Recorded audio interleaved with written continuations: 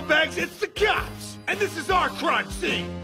I'm Detective Dick Gumshoe with the District Police Force. Sir, I think this might be important. It appears to be some kind of receipt. Maya. Uh, yeah. Ringing any bells, pal? Uh, no. Uh, sir, that's my name. Huh? What's your name?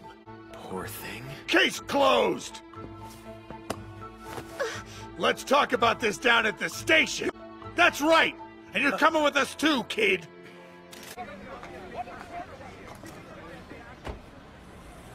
Ramen. You're, uh... I'm Phoenix Wright, attorney at law. Yeah, yeah, I know who you are. That's some weird name you got there. And Dick Gumshoe's not totally ridiculous at all. Don't know if I've ever seen a guy with such a girly cell phone. Ah, yep. I guess you are pretty girly, huh, Cupcake? Oh, you have any breakthroughs in the case yet? Ha! Nice try, sport, but I ain't sharing info with the lawyer. Well, there's one thing I'm sure about. You're gonna lose big. Not a snowball's chance, Hot Rod. What? She's toast. Edgeworth's on the case. Mr. Convictor himself. Ha! That name making you sweat, Snowball? So go home and cry into your pillow, sweetheart. By the way, detective, had any luck with the witness from last night? You must be talking about Miss April May. When I told you I ain't sharing info, I meant it. Ha! You have got to be kidding me, pub! She is not leaving that room until the whole trial is over. Her lips are tighter than a fat guy's waistband. If you would, state your name and profession. Sir, I'm Homicide Detective Dick Gumshoe, Senior Detective in the Homicide Squad of the District Police Force. I shouldn't need to remind you, Detective, but please keep your testimony concise and factual. Oh, uh, of course, Your Majesty! First, I'd like details on the crime itself. I brought a visual of the office floor plan to explain. The body was found slumped by the window. Blunt force trauma to the head. Yes, sir. It was found next to the victim. I had evidence that named her as the attacker. Before she died, the victim wrote the killer's name. She left a message written in blood that refers to her very own sister. Forensic tests show the blood on the note matches that of the victim, so I was right to make the arrest. Yeah, that's exactly what Objection! Ha! And what makes you so sure about that, kid? It's straight from the autopsy report, which states that the victim died instantly from blunt force trauma. That's true. And after that happened, she used her last ounce of strength to write down the killer's name. so you believe that she died instantly? Oh, I guess. How could she do that if she's dead? I don't know. I mean, it is kind of weird. Uh, well, that wasn't my fault. Ma'am, what did you say? That stupid call was recorded, right?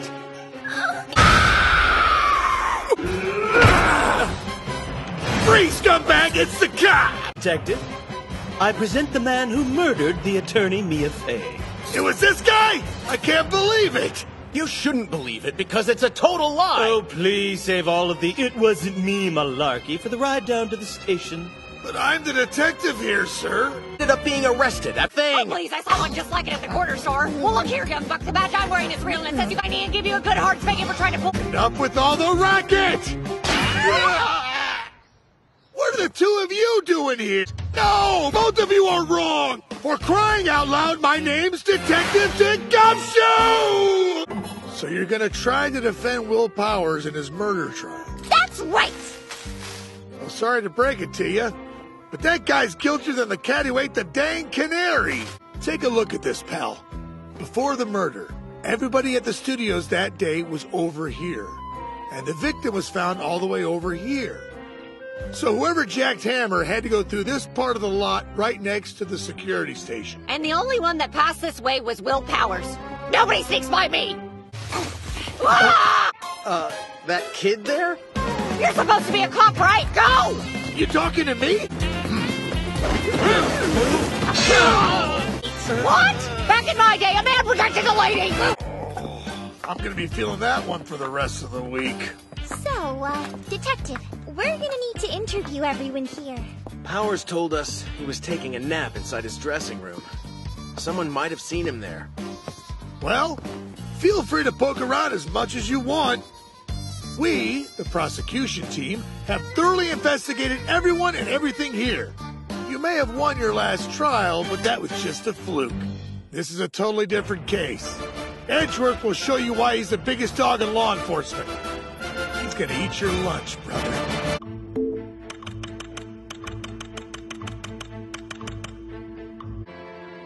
Mr. Edgeworth, you may proceed with your opening statement.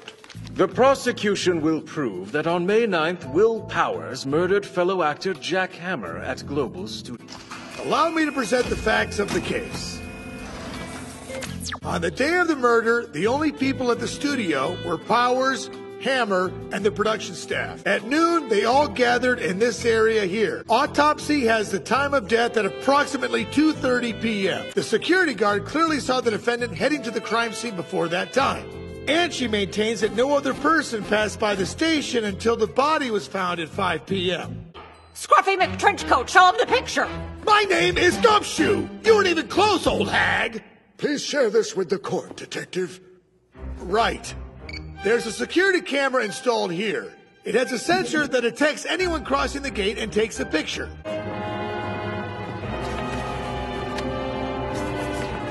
Oh, well, I suppose it could be him. Duct tape? I taped that thing up real good. And during that incident is when the defendant injured his left ankle. Is that correct?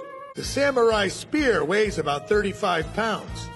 A grade schooler would have a pretty hard time picking it up like a weapon. Are you really accusing an innocent... See? The picture was completely unrelated, so that's why I decided to delete it. The... That is all. Court is hereby adjourned. Objection! Wait just a second, gal. Detective Gumfoot? Miss Dee Vasquez, I'm here to deliver your summons for Powers trial tomorrow. But what exactly is going on here? Boy? What? Struggle. That is true. The weapon used in the crime was pretty dang heavy. I don't see it happen. If you don't have that, then you can leave. I feel like this case changed something inside me forever. No? Has anybody found an actual lead on the case yet? Trials tomorrow. We gotta find something that leads us to the bad guy. Now! We already have Edgeworth and... Can it, you? Huh? Hello, Detective Gummy. It's about time you showed up. Let me show you around the crime scene a little bit since you're investigating for the defense and all. Actually, we're kinda... Now, walk with me. I'm glad you're here. This case has been like lawyer repellent. No one would take it on. Nobody will take it? I wonder why. Mr. Edgeworth is a celebrity, pal. You either win a case like this or flush your career down the toilet. Exactly how solid is the case against him? The police at large are totally convinced that he's our murderer. No one's putting their heart into the investigation. Oh, seriously? Well, I guess having you on his side is better than nobody. Ain't that right, Bob? The murder took place last night just after midnight. Two men were out in a boat on the water. One of them shot the other dead at close range. Police showed up five minutes after the shot was heard and arrested Edgeworth, who was found already at the scene. How did the police get here so fast? Because somebody reported the incident immediately after they saw what had happened. So are you telling me that there was actually an eyewitness to the murder? Someone really saw Edgeworth shoot the other guy? You know, I hate to be a tease, but that's confidential. That's all I can say. You're the only hope he's got of shaking off this charge. What? He wouldn't let you? He said he didn't want us getting involved in the case. It sounded kind of threatening if you ask me. Apparently, he doesn't think very highly of my skills as a defense attorney. I can't believe that crap!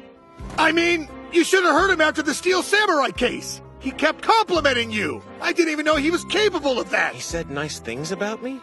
You gotta figure out a way to change his mind and let you take the case. You don't just wear that attorney's badge because you like the way it looks, right? You earned it! Here's the autopsy. The victim died instantly from a shot fired at point blank range. Thank you, sir. We haven't been able to get a positive ID in the body yet, though.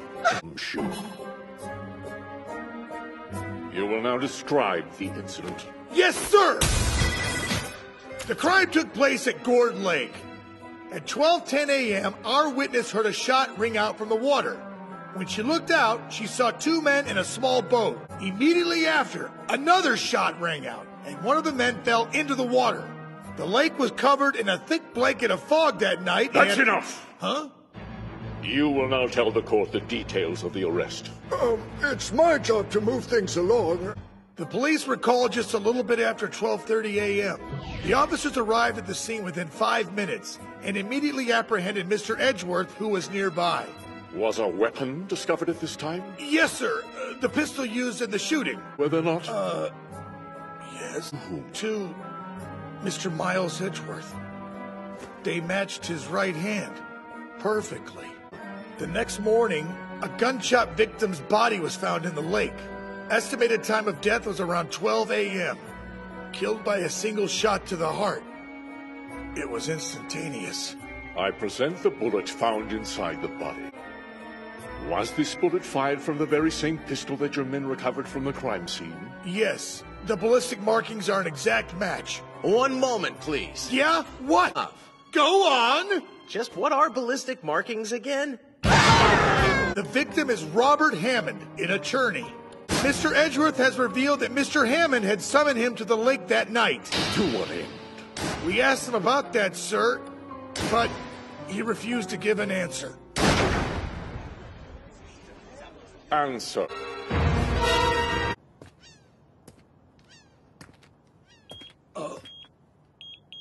So, uh, what have you got going on here, Detective? Glad to see you got out, Missy.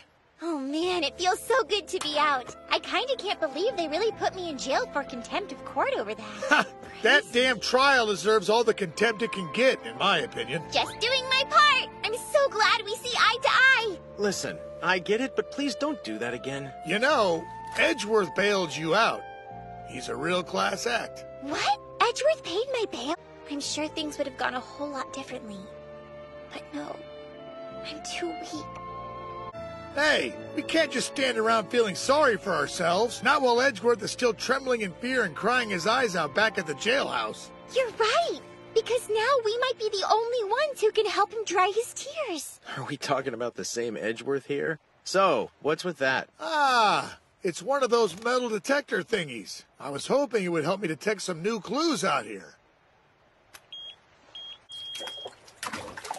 But no luck so far. I think it's awesome. Hey, detective, if you don't mind, can I please, oh please try it out? Sure, maybe it'll actually work for you. Yay! Well, let me know if anything turns up for you guys. We certainly will. Let's see. Hey, you're here. Hello, detective. How's the investigation going? It's going nowhere fast, pal. I just got out of a briefing, and it seems like everybody's more convinced that Edgeworth's the killer. We found a possible motive. As a matter of fact, it is. It was a pretty big deal. You probably know how it relates to this case, don't you? That's the gist of it. My bosses think this thing's about revenge. To get payback for what happened to his father. Fine. Are you kidding? You're his defense lawyer, and now you think he's guilty too? No, that's not it. I just know that that case most likely holds the key to this one. Hmm. Okay, I'll see if I can go grab those files. I got bad news, guy. We're missing lots of important stuff related to that case. Yeah, sorry, but Von Karma came and picked it up a little while ago. we still have copies of the paperwork, but all of the evidence is gone. That'll be enough. You can repay me by walking into court tomorrow and winning that trial. You hear? No matter what you gotta do! We caught him with his bags packed trying to get the hell out of Dodge. We're gonna search his little boat rental shack. You're more than welcome to join us. So I guess according to your theory, the old lawyer guy didn't actually get ventilated on the boat in the water that night. Yes. And I'd be willing to bet this is where it really happened. Let's take a look inside. this place is a lot creepier when you think about someone getting killed in here. Good morning! Good morning! It's that thing. When we caught him, he had his buddy here squawking away on his shoulder. Not what I'd call inconspicuous. Sure made nabbing him a lot easier. Doesn't seem like there are any clues here, does it? No, the only thing that feels warm is this heated table. Oh, and it feels so warm. Is it it weird that all those pictures there are of saltwater fish? We're on a lake after all. I doubt it's a lead, but maybe you're onto something. Hey, maybe we should try to open it. Hmm, I'll be honest with you. I'm not really a safe cracker or anything. Oh, I'm pretty sure I can get it open. Yeah? How? Whoa, for real? For real.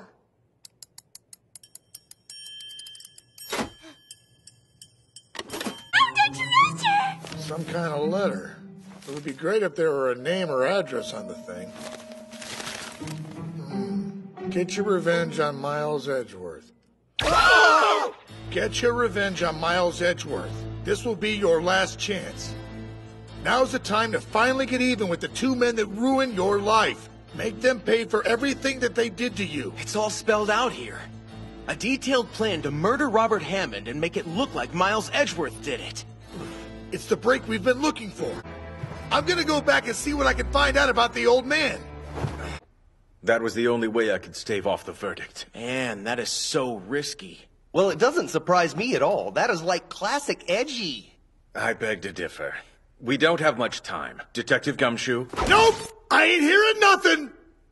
If the evidence has been pulled, then we'll just have to go and get it. Yes. You've convinced me of my...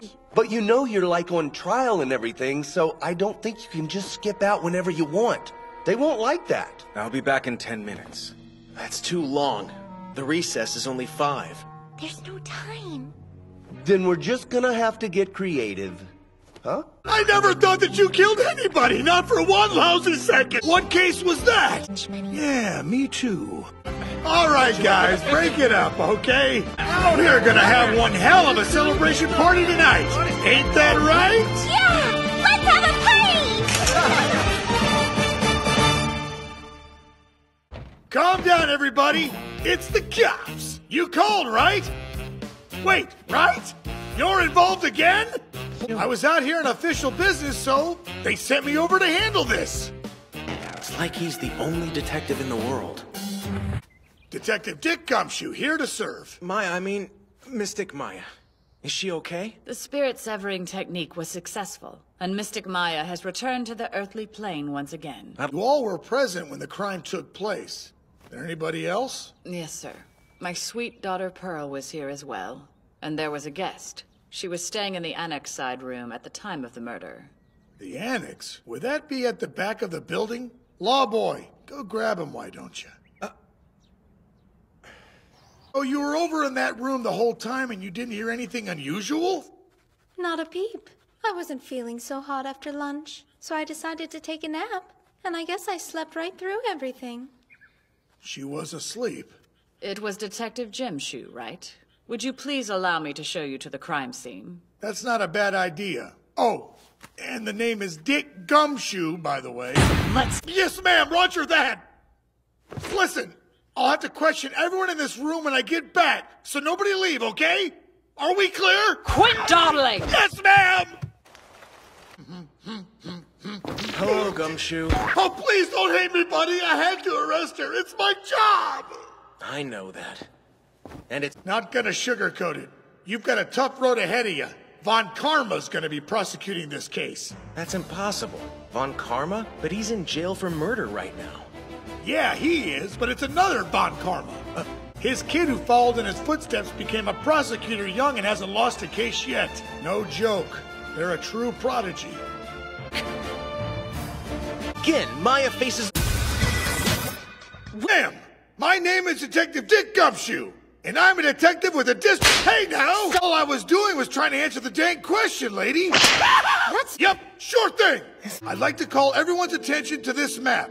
The victim, Turner Grey, was killed inside the so-called channeling chamber, a room without windows and a single door which was locked at the time.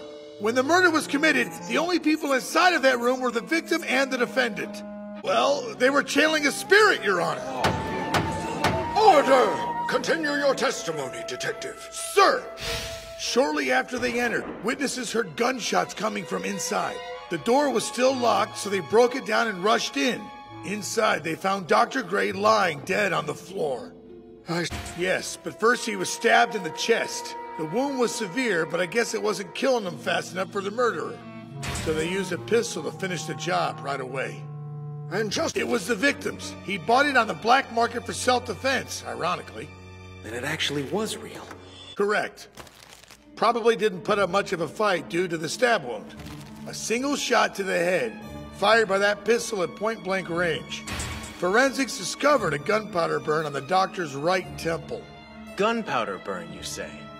You shoot anything at that range, it's gonna leave a burn. You can see the pattern the heat from the explosion leaves around the bullet hole. Yes, Your Honor. And we found the defendant's fingerprints on both murder weapons. You there! Yes, ma'am! The time has arrived to nail the coffin shut. I would like for you to present the piece of evidence that fully incriminates Maya Fey. What evidence is she talking about? Let me show you this costume the defendant wore during the ritual. As you can see, the thing is a mess, completely covered in blood. Crime Lab has determined that it's the victim's blood, spattered out all over her at the time he was fighting for his life. Huh? Say what? At some point during the crime. Well, I thought you might have. Since they shot, what that proves is that this murder was not merely a one-sided act of violence. Uh? Detective Gumshoe, tell the court what transpired that day, and don't leave out any new information. Yes! I'll do my best, ma'am. During the channeling, the defendant stabbed the victim in the chest. Of course, he used the last ounce of strength in him to fight back. During the struggle, the victim whipped out his pistol. And although he was at very close range, somehow he missed. The defendant took that chance to grab the gun and end it all right there. Hmm. That scenario does make sense to me. Of course it does. It seems the defendant's role in the murder has been proven beyond a reasonable doubt, and therefore... Correct? That's what I assume happened, at least. But, sir, if that is the case, aren't we still missing something? What are you getting at? While testifying about the victim's gunshot wound, you mentioned the gunpowder burn on his temple, and that one could ascertain the range. order! Order in this court! The client. Just as we were back.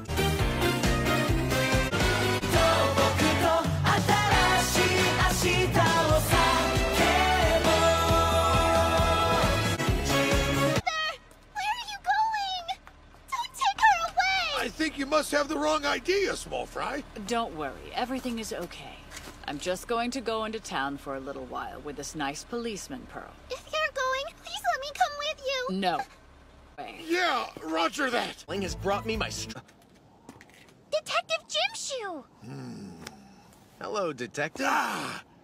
Let me guess. You're here because... Detective! We are going to be defending Max Galactica! That's what I was about to guess. Hey, Detective. What do you know about the case? Sometimes it seems like you're the only defense lawyer in the world or something. I sort of feel the very same way about you and detectives. It happened last night a little after 10 o'clock, but he wasn't found till this morning. The official cause of death is blunt force trauma to the head. What's the deal with this wooden box? We're trying to figure that out now. All we know is it was heavy and locked. Also, we found this at the crime scene. Poof! Here it is! Max's hat! Yep. A signature piece sitting here like a gift from the evidence gods. Now you can watch while I pull a guilty verdict out of this thing. That doesn't mean he's the killer! Of course, that's not the only proof we have. Uh, this is strange. I think we all know of one individual who could pull off that kind of trick. Right? The star of the show and world-class magician, Mr. Max Galactica. You've probably seen it yourself. I mean, the guy can actually fly. You dig? Has everyone baffled? It happened on the night of December 6th, after a very nasty and unusually cold day had left the ground covered in snow. The troupe had a rehearsal that ended around 10 p.m. The ringmaster, Russell Berry, went to his office but left shortly. For some reason, he headed to the scene of the crime. And at 10.15, he was found deceased, slumped over a large wooden box. Blunt force trauma strong enough to shatter vertebrae did him in. The victim's footprints were found at the crime scene along with a hat which belongs to the defendant.